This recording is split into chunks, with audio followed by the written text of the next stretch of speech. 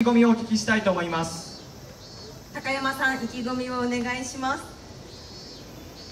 あの意気込みといいますか、えー、3年ぶりの風景ですので皆さんあの会場の皆さん楽しんでいらっしゃいますか？ありがとうございます。ありがとうございます。えっ、ー、とここで確かに私たちは演舞をするんですけれどもお客さんあってのこの会場だと思うんです。この3年ぶりの、えー、会場や空気をですねあの皆さんと本当に作り上げたいと思っておりますのでどうぞよろしくお願いいたします。ありがとうございました。それでは準備をお願いします。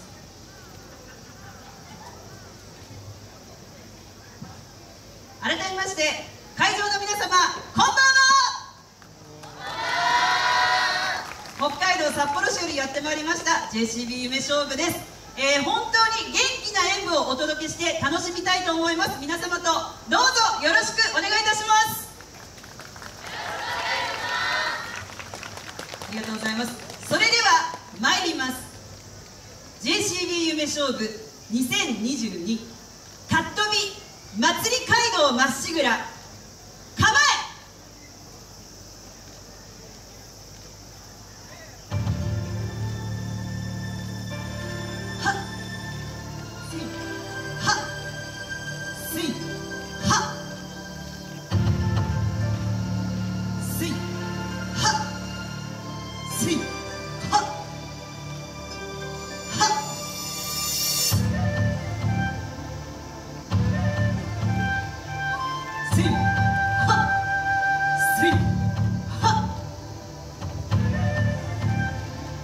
see.